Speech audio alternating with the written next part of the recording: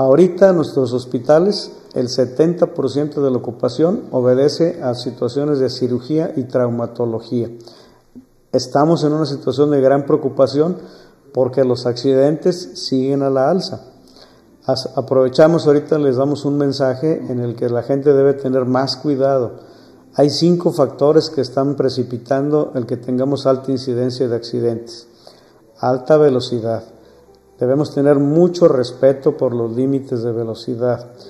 El no consumir ni bebidas alcohólicas ni drogas. El no utilizar el celular y el respetar las medidas de vialidad establecidas. Estos cinco elementos nos van a permitir mantenernos bien.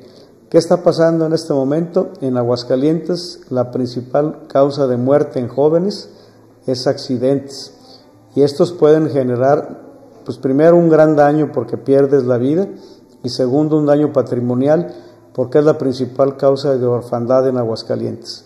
Entonces tengamos el autocuidado y tengamos la precaución de estarnos cuidando. Este 70% de, de ocupación hospitalaria no es por problemas respiratorios, es por otra gran pandemia que nos está ahorita apareciendo en el escenario, que son los accidentes. El costo promedio por manejo de un paciente accidentado es de 1.700.000, ya sea que lo pague la familia, que lo pague el paciente o que le pague el Estado.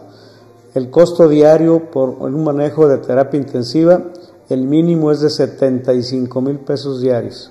Entonces, por favor, evitemos que se pierda nuestra salud y que se pierda nuestro dinero.